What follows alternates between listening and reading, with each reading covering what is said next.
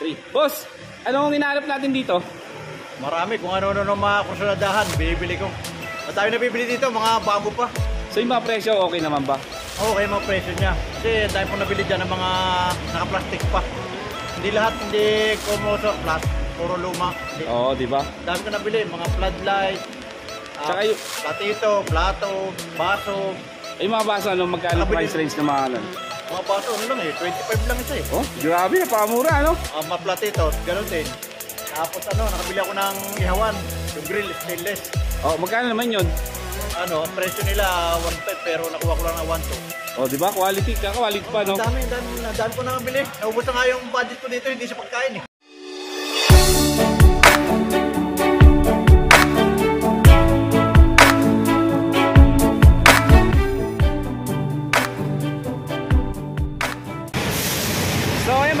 Ah, nandito na sa Japan Surplus dito sa may Quirino Highway. Di ba? Medyo maingay lang yung mga sasakyan mga ka-vlog. So mga gusto pala dito pumunta mga ka-vlog, ah, nandito lang to sa Quirino Highway. Along Quirino Highway bago mag Guadalupe. Pas lang siya ng Amparo Village yan mga ka-vlog. Kung galing kang SM yan dito. Baba kayo dito, yan nasa may Japan Surplus kung galing kayong SM. SM Fairview. Ito ang pinaka-location niya, Japan Surplus lang mga ka-vlog. So puntahan nyo na lang to dito mga ka-vlog. So yun mga ka-vlog, ah, pasukin na natin yung loob kung anong mga meron ditong quality na pwede, nating pakinabangan.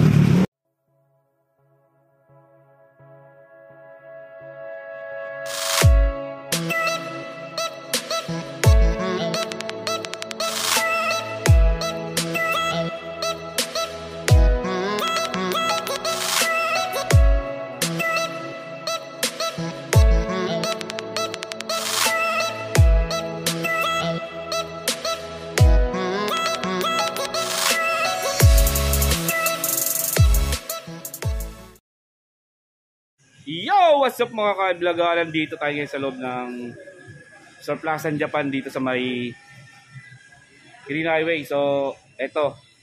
Umpisa na natin. Di ba? Kung ano yung mga future natin, mga ka-vlog. So, ito may nakita tayo dito mga ka-vlog. Oh. Yan oh, mga ka-vlog oh. Ayan oh. Di ba? Yan yung mga raketa yun oh, napakamura. So ay mga ka-vlog, ah, meron po tayong nakita dito, ah, pang tennis yan oh, raketa. Ang presyo na ito, 150. Yan, mura lang no, mura. Ganito, tingnan mo naman yung mga tatak mga ka-vlog oh. Oh. Ayan oh. 150 pwede nyo pa makuha ng isang daan. Kaya puntahan nyo na to dito. Oh. Ang dami pa oh. Ayan pa siya oh, mga ka-vlog oh. Diba? Pakamura. Kaya puntahan nyo na lang to dito. Sa mga interesado, yan, yung mga mahilig sa tennis yan, ito. Ganda ng mga raketa nila. Pwede, pwede punas-punasan nyo na lang to. Maganda pa to. Diba? Hindi tayo mahilig mag-golf pero dati nag-golf tayo. Pero ibang golf, di ba? Yung golf na yun, pag ano no, golf, golf, golf, golf. So, ayun mga ka-vlog. Ang una natin nakita ito, golf set. Yan, oh. Yan, mga ka-vlog, golf set. So, ito, natanong ko kanina, ah, 3.5 daw to, 3.5. Yung mga mahilig mag-golf dyan, ito, 3.5, oh. Diba? So, may nakita pa tayo mga ka-vlog. Tapos, meron pa tayo nakita yung mga mahilig sa gitara ito.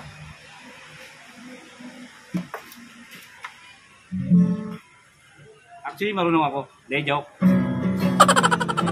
Alam mo talaga, marunong, di ba? Ito, mga ka- ka-vlog, oh, gitara, oh. Ayan, oh. So, mga gitara daw dito, nagpa-price range lang siya ng 3,000 to 4,000. So, makakatawad pa naman kayo, kaya puntahan nyo na lang. Ito. Kala mo, veterans, di ba? Meron dito mga ka-vlog, ang ganda na ito nylon. Ayan o. So, nylon mga ka-vlog. Oh. Nakabalot lang eh. Baka may pag tinanggal natin, yari tayo. So, may damage siya ng konti pero okay pa. Ayan o.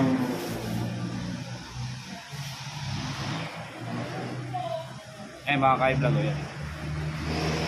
Basta mga price range daw dito ng mga gitara mga ka-vlog. Ah, uh, 3,000 to 4,000 lang hanggang doon lang. Ah, pwede pa kayo makatawag. Punta lang dito sa mga gusto nito. Makakatawad pa naman kayo eh. Diba? So ayun, meron pa rito. So ay mga ka-vlog, meron pa tayong nakita dito set naman. Ito. Yung mga mahilig dyan, mga nanay, yan. Ito, set show, mga ka-vlog yan. Oh. So ang price niya ay 350. May bawas pa to. Kaya puntahan nyo na lang to kung gusto ri- kung gusto nyo to. Doublet glass, yan. Ah, 1.5 ay nakalagay na presyo, 1.5 mga ka-vlog yan. Oh. Yung mga gusto, gusto na ito, puntahan nyo na lang to dito, makakatawad pa kayo mga ka-vlog. Mga ka-viewers yan, mga ka-mothers. Ayun na. Meron pa to, ito, ang ganito, 150 lang oh. Makakatawad pa, 150. Oh, di ba? Yung mga kainuman natin dyan, mga mahilig mamulutan, ito, kahit tambag nyo, ito na lang, panlagay ng pulutan. Dito, bumili kayo, mura lang, 150. Ito pa, 350. Yan, 350. Tapos meron pa nito, mga ka-vlog oh. Yan, di ba? 100. Ako, muntik ko pa mabasag. Makakabayad pa ako nito di oras. To 100 mga ka-vlog yan oh. Mga nanay yan, mga nanay please, pumunta kayo dito, bumili kayo rito, napakamura lang. 'Di ba? Sa mga mahilig diyan, sa mga gano, mga tasa, mga plato, yan, nandito, makakamura kayo, may mga tig 25, 50, yan. May mga nakita pa tayo dito mga tawag dito, ah, tasa, alam maliliit, yan. Ito, ate, magkano yung mga ah, price range niyan? Ito po, naglalaro po to sa 30 pesos each. Tapos ito po, 50 to 40 each. Tapos Tawad pa, ano? Tawad pa. Ito po, 25, 25 pesos. Ito, 25 to 20 pesos. Pero pag mga pang wholesaler, may mga bawas na po siya.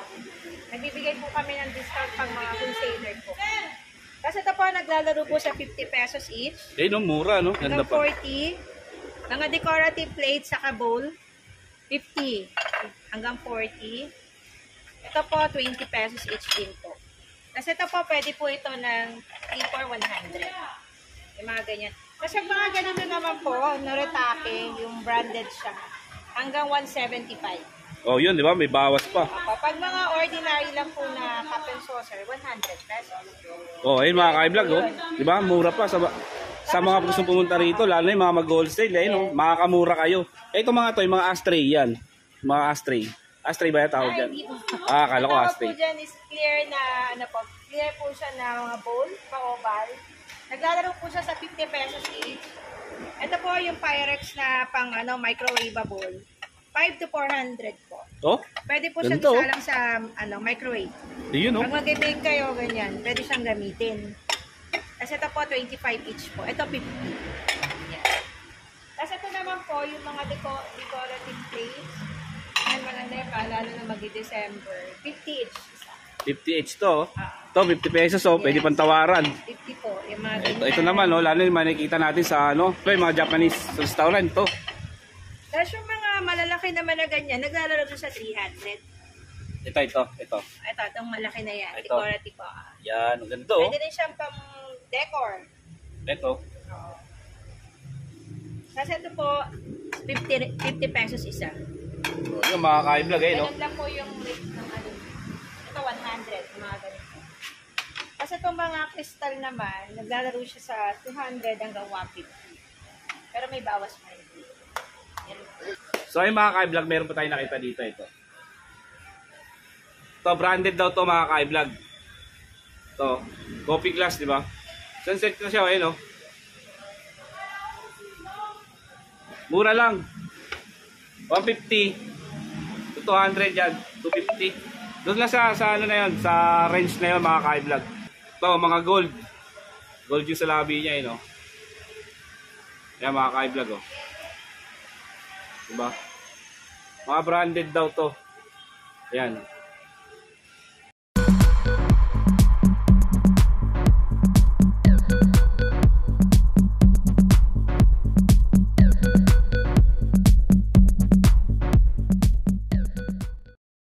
Meron din tayo nakita dito. Ito.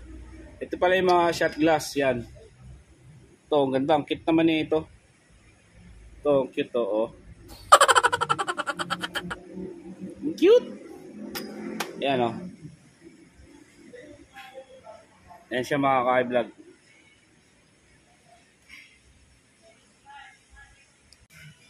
Ito, mga pang ano, sosyal. Hindi ko alam tawag dito. Ayan oh. Oh. Di ba?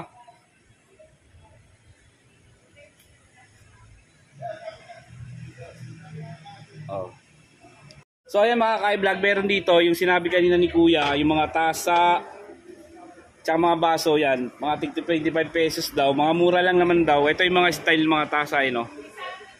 Yan mga ka-vlog, mga ka-viewers, yan oh. Yan.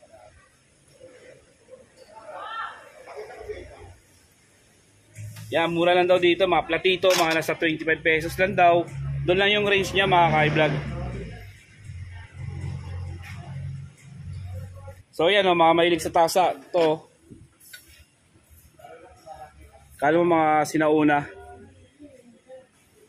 Yan, mabibili nyo lang to ng mga nasa 25 pesos daw. Yung mga ganyan, 30. Mga base sa nakausap natin kanina na bumili. Yan. Boss, ano hanap natin? Fishing ano, accessories. Iyon o. Anong tatak niyan? Shimano yata Ay, si Wano, maganda yun. Eh, no? Daiwa eh. Ito, malaki, pandagat na to. Pandagat Mapang ilang kilo na yan. Oo, mangilo na to. Pandagat na. Ito, pang tilapia, Mga pwede na. Fishing reel yan, di ba? Di ba? Oo. Tapos wala, wala sila ganong fishing rod eh, no? Oo. Magkano ang presyo naman dito, Hindi ko boss? naman alam, tatanong nga kay sir eh. Pero ayusin pa yata eh, medyo may stock up siya sa loob. Ah, makakatawad pa naman eh, no? Oo, eh. Ayan o, mga ka-vlog o, ayan o. Ito, Ayan mga kursunada ni boss, ayan o. Yung mga mahilig sa fishing dyan, ayan o. Ayun, ito pandagat to eh oh. Ayan o. Bagong-bago pa oh. Ayan o. Daiwa. Sarap din mag-fishing, nakakaaliw eh. Oo. Kasi dati kong amo, sumasama ako ron eh. Iwas stress, saka hindi kayo aibla din. Oo. Sabi Eh. ng oras. So, sa mga mahilig mag-fishing, punta lang kayo dito kung gusto nyo makamura. Dito lang sa, may plaza. niya oh. Oo.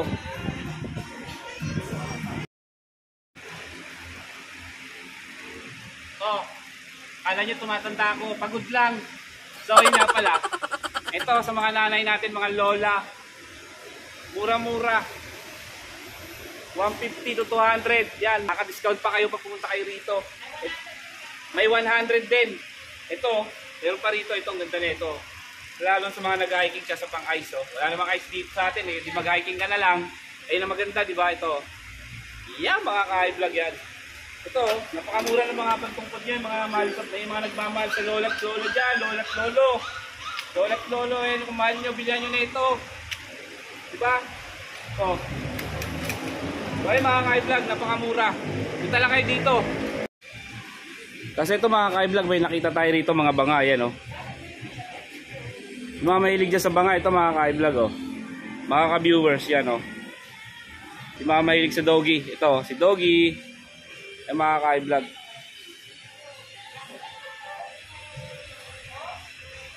Ito yung mga sample ng price nila mga ka-vlog ito. Yan, 500 siya mga ka-vlog yan. Ito. Tapos, meron pang isa mga ka-vlog. Ito, 500 din yung price. Ayan o. So ito, para kang tigo siya mga ka-vlog. Ayan o. 300. Yung mga mahilig dyan sa banga. Ayan o. Diba? Ito, ang ganda rin na ito. oh.